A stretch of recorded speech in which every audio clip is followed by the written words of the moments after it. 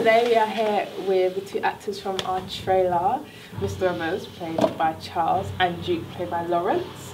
Um, in the first scene, Lawrence died first. How was that? Yeah, it was quite fun. Well, I like I enjoyed it, Yeah. except from the part of me dying. Participating in the movie was quite nice. Got to work with some good actors like Charles, Yeah. other actors like Nani. Yeah, it was a great experience. Yeah, what about you, Charles? How did it feel to kill Um, Lawrence in the beginning? It was definitely a great experience working with Lawrence. He's a very experienced Yeah. performer. Um, I can't say much else. It's just a Yeah. great person working with him.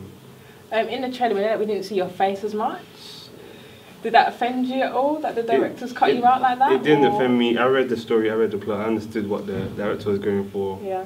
So I didn't really complain. Yeah, it makes I just went sense. yeah. yeah. What was your favourite part of the movie anyway? Like after you watched it? See myself. nah, I'm joking. Um, the favorite part was probably when the girl died. Mm. Yeah, it was it was really effective. Yeah. What about you? My favourite part, I think, was just the whole movie, just seeing the whole movie come together. Yeah. Yeah, yeah. Yeah. All that did.